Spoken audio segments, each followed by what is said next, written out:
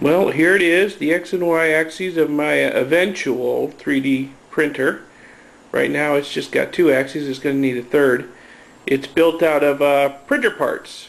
Um, rather than just salvaging motors and redoing it, I salvaged the whole carriage assembly and used three carriage assemblies to make it work. And it's a mess.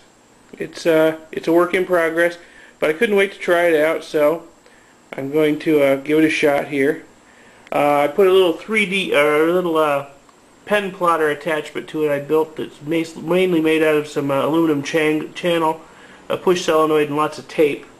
So we'll see how well it works and uh, see what we can do with it. I got my laptop here running Mach 3 attached to it.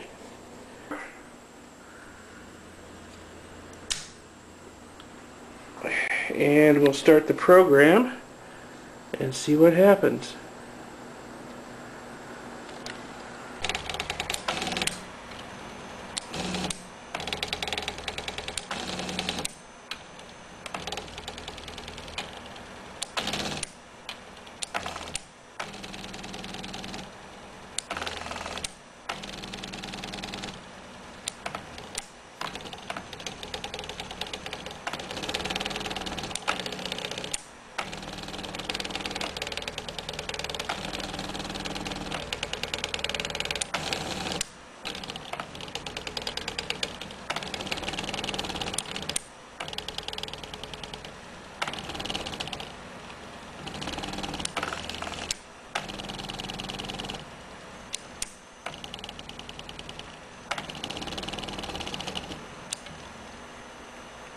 Not bad.